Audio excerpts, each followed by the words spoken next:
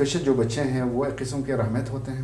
अभी यहाँ इस वक्त पाँच बच्चों से स्टार्ट किया था सालाना बढ़ते गए बढ़ते गए। अभी इस वक्त सत्तर से अस्सी स्पेशल बच्चे नॉर्मल जो हमारे साढ़े हम्म। सात सौ बच्चे हैं उनके साथ बैठ के पढ़ रहे हैं। अच्छा आपने कहा कि घर घर जाके हम्म। थेरेपीज़ वगैरह जो करते हैं आपका स्टाफ उसमें जाता है।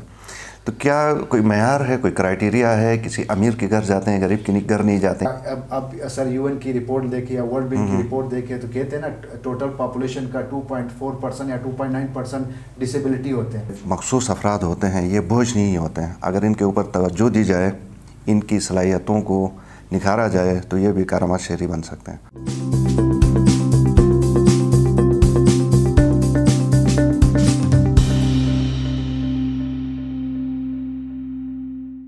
अस्सलाम वालेकुम आयमन के साथ आपका मेज़बान शब्बीर मीर। नाजरीन, आज के इस प्रोग्राम में हम बात करेंगे खसूसी अफराद के हवाले से भी। और हमारे माशरे में खसूसी अफराद की एक ख़ास अहमियत भी है और अहमियत नहीं भी है। अगर हम ब्रॉड लेवल पे इसको देखें तो खसूसी अफराद जो हमारे घरों में होते हैं, शायद हमारी हमदर्दी उनके साथ होती है, लेकिन उनकी तालीम और तरबियत और अ, कोई स्किल देने के हवाले से हम गालिबा निगलेक्ट करते आए हैं।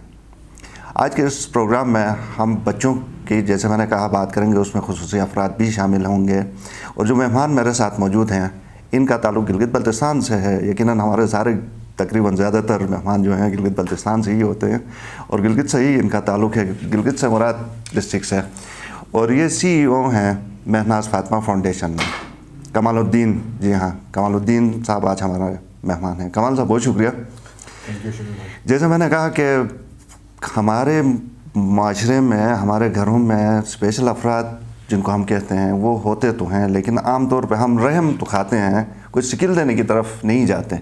मुझे ये बताइए कि जो आपका महनाज फातमा फाउंडेशन है इसके अंदर स्पेशल एम्फोसिस है फोकस है आ, स्पेशल अफराद के ऊपर भी?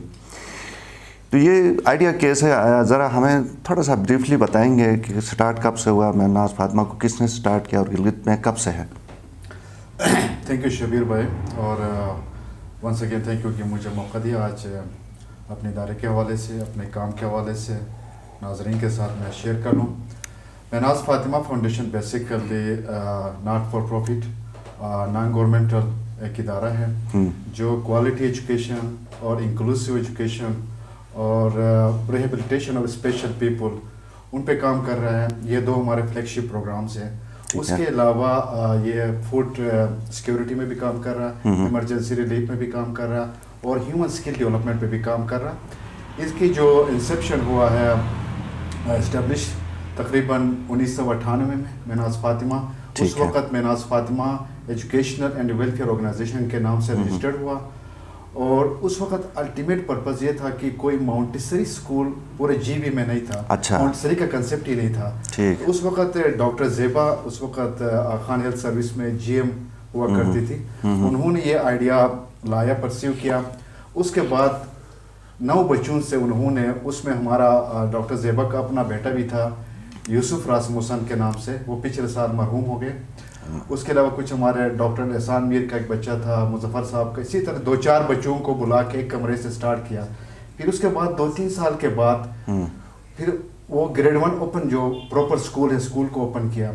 उसके बाद 2005 में हम्म, हम्म, रियलाइज़ किया कि जो आपने नहीं कहा स्पेशल जो बच्चे हैं हम्म। उनके लिए भी हम कुछ किया जाए। यहाँ पे कोई ऐसा फैसिलिटी पूरे जीबी में नहीं था। 2005 में 2005 स्पेशल चिल्ड्रन के लिए कोई ऐसी फैसिलिटी नहीं थी। छोटा सा सेटअप अलग से बना दिया।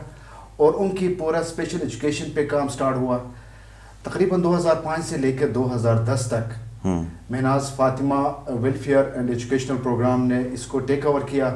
2010 में जीबी गवर्नमेंट ने अपना स्पेशल एजुकेशन कम्प्लेक्स बनाया गिलगित में। अच्छा। जब वो बना तो हमारे जितने भी बच्चे वहाँ पे थे और उसके अलावा जितने भी हमारे ह्यूमन रिसोर्स थे वहाँ शिफ्ट किया गया। ठीक है। किया गया। अभी माशाल्लाह वो वहाँ पे चला रहे हैं जिसमें आपके पास विजुअल इम्पेयर लोग भी थे डीफ एंड डफ भी थे उनको रखा। उसके बाद 2012 में महनाज फातिमा फाउंडेशन या 2017 में रजिस्टर्ड हुआ है। इसलिए मैं बार बार महनाज फातिमा फाउंडेशन कहूँगा। एस के साथ रजिस्टर्ड है।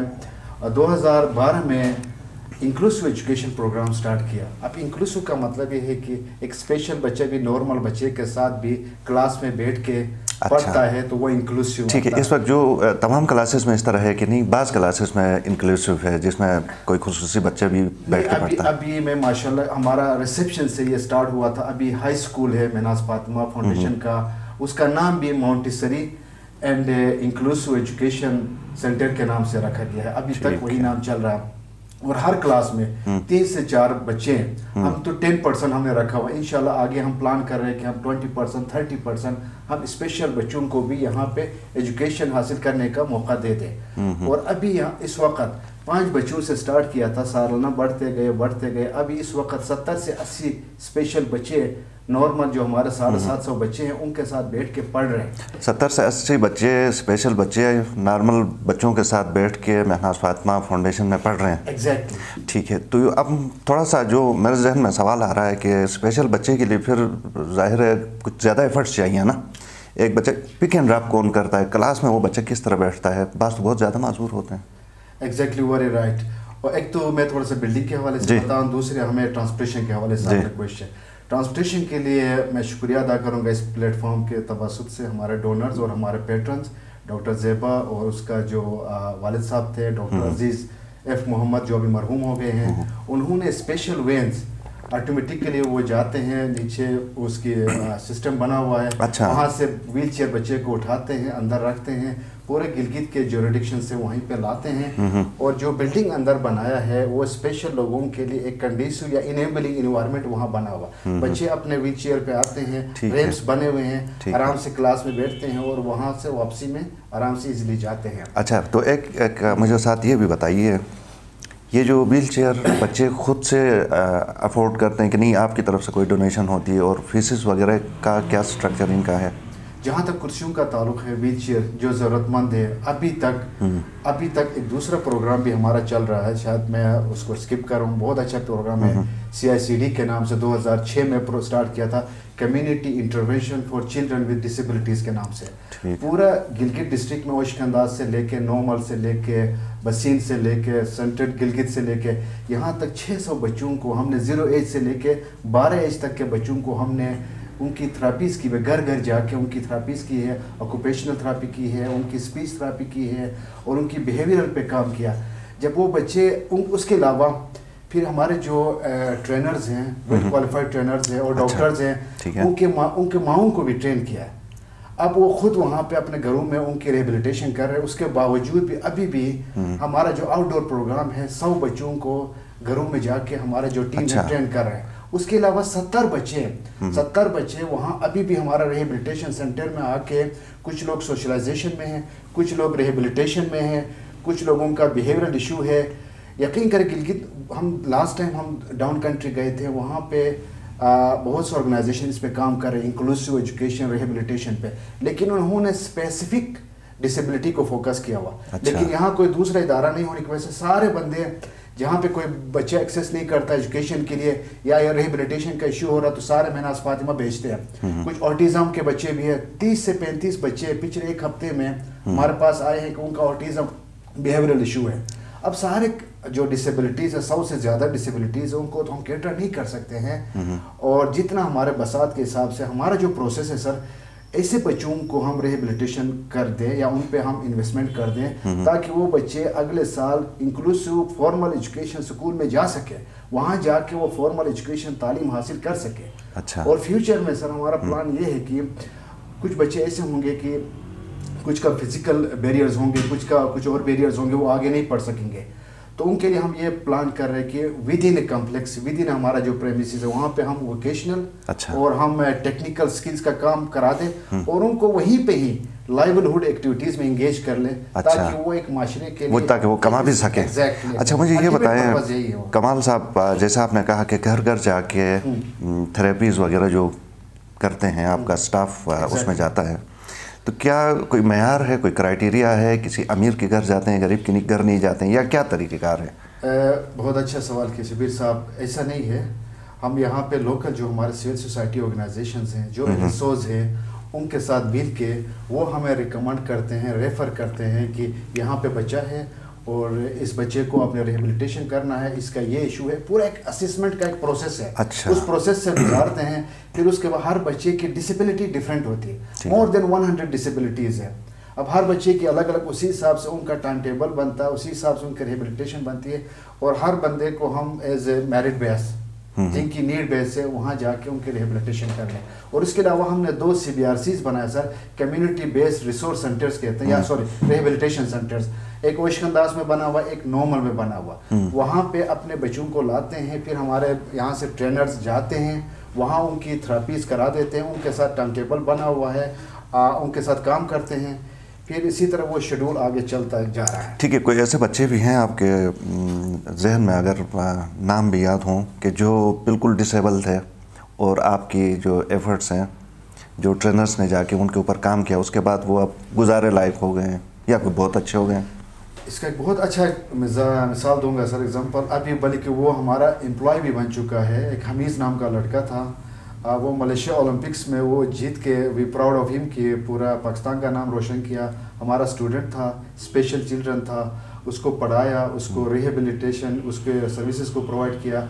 उसके बाद उसने एट्थ पास किया वहाँ से। अब वहाँ पे हमारे वहाँ पे फोटोकॉपियर मशीन और वो हमारे पास एज ए इंटर्न काम कर रहा है और उनको हमने रोज़गार के साथ लिंक किया हुआ। इसी तरह सैकड़ों बच्चे ऐसे हैं अच्छा। जो कि हम कह सकते हाँ उसके अलावा कुछ बच्चे ऐसे हैं जो सराउंडिंग में जिन घरों में जाकर रिहेबिलिटेशन कराया हुआ है। जब वो रिहेबिलिटेट हो के इस काबिल होते हैं कि आके वो आके फॉर्मल जो हमारा इंक्लूसिव एजुकेशन सेंटर है या स्कूल है हाई स्कूल वहाँ आके वो तालीम भी जो सत्तर बच्चे हैं उनमें से वो बच्चे भी शामिल हैं। अच्छा। हाँ कुछ बच्चे ऐसे भी हैं जो अच्छा जिनकी डिसेबिलिटी लेट से कि कोई हैंडीकेप है या फ़िज़िकल डिसेबिलिटी है आ, या थोड़ा सा बिहेवियरल इशू है या थोड़ा सा लर्निंग का या हेयरिंग का इशू है उन पे काम करते हैं या स्पीच का इशू है उन पे काम करते हैं फिर उन बच्चों कुछ पेरेंट्स ऐसे हैं जो खुद लेके आते हैं उनके रिहेबिलिटेशन कर लेते हैं। उसके बाद सालाना 10 से 15 बच्चे हम सर इंक्लूसिव एजुकेशन स्कूल में इनरोल करते हैं और वो हमारे नॉर्मल बच्चों के साथ बैठ के कुछ बच्चे हैं। कुछ बच्चे हमारे टॉपर भी है सर। और अच्छा। कुछ बच्चे थोड़ा सा इसमें एक यूनिक हमारा एक मॉडल भी है यहाँ पे। I feel proud to be mention here कि वो पूरा पाकिस्तान में है या नहीं है। कुछ बच्चे ऐसे हैं जो कि फिजिकली वो आपके तकरीबन 10-12 साल के हैं और उनको होना चाहिए क्लास एट्थ में। लेकिन उनका जो लर्निंग कोग्नेटिव जो स्किल है वो क्लास टू का क्लास थ्री का है। उनको हम बिठाते हैं आ, क्लास एट्थ में लेकिन उनके लिए आईपी बनता। है ठीक है। इंडिविजुअल एजुकेशन प्लान बनता है और उनको क्लास टू का सिलेबस पढ़ाते हैं। इसी तरह एक एक यूनिक मॉडल है उनको भी हम साथ लेके चल रहे हैं वहाँ पे। ठीक है। इससे पहले मैं वाइंड अप करूँ प्रोग्राम कोई ऐसा पैगाम जो आप वालदेन को देना चाहें जिनको घर हूँ मैं ख़ास मखसूस बच्चे होते हैं या बड़े होते हैं कोई ऐसा कोई ख़ास पैगाम आप देना चाहते हैं? आ, जी बिल्कुल स्पेशल जो बच्चे हैं वो एक किस्म के रहमत होते हैं। और ये जो हमारा महनाज फातिमा जो कि हमारा जो पैटर्न था उसकी आखिरी बच्ची थी। हम्म, हम्म, वो डिसेबल थी। अच्छा डाउन सिंड्रोम थी। उसकी वजह से आज तकरीबन इतने बच्चे हैं उनके लिए एक एक सबब बना। तो ये हमारे लिए स्पेशल है इनका ख्याल हमें रखना चाहिए। कोई भी ज़रूरत होता रिहेबिलिटेशन से या अगर स्पेशल बच्चा अगर है अगर उनको तालीम तक एक्सेस नहीं है। और उसके अलावा मैं गवर्नमेंट ऑफ़ पाकिस्तान क्योंकि हमारा फादर है मादर है उनसे भी मैं रिक्वेस्ट कर लूँगा। अगर अब अब सर यूएन की रिपोर्ट देखे या वर्ल्ड बैंक की रिपोर्ट देखे तो कहते हैं ना टोटल पॉपुलेशन का 2.4 परसेंट या 2.9 परसेंट डिसेबिलिटी होते हैं। अगर चलो 2.4 भी ना कह लें 2 परसेंट भी ले लें अगर 15 लाख की आबादी भी है तो हमारे तीस हज़ार तो ऐसे बचे हैं। अभी सुनने में सिर्फ़ तेरह से चौदह हज़ार रजिस्टर्ड हो चुके हैं बाकी तो घरों में पड़े हुए हैं। अच्छा। उनके लिए भी हमें कोई इस तरह के मॉडल्स इंट्रोड्यूस कराना पड़ेगा। सिर्फ़ गिलगित में महनाज फातिमा अगर कर रहा है तो बहुत अच्छी बात है। इस तरह के अगर हम पार्टनर्स के साथ मिल के इन फ्यूचर में भी हमारा प्लान ऐसा है जिस तरह हम गिलगित में अभी ये हमारा प्रोग्राम चल रहा है इसी तरह हम अपने सिविल सोसाइटी और दूसरे पार्टनर्स के साथ मिल हम पूरे जी बी में इस प्रोग्राम को आगे लेके चलें। स्पेशल लोगों के लिए खासकर जो हमारे बच्चे हैं। बहुत शुक्रिया कमालुद्दीन साहब। नाजरीन अख्ताम में मैं क्या कहूँ सवाए इसके? कि जो हमारे मखसूस अफराद होते हैं, ये बोझ नहीं होते हैं। अगर इनके ऊपर तोज्जो दी जाए, इनकी सलाहियतों को निखारा जाए तो ये भी कारमा शहरी बन सकते हैं। प्रोग्राम देखने का शुक्रिया। इजाज़त दीजिए। अल्लाह हाफ़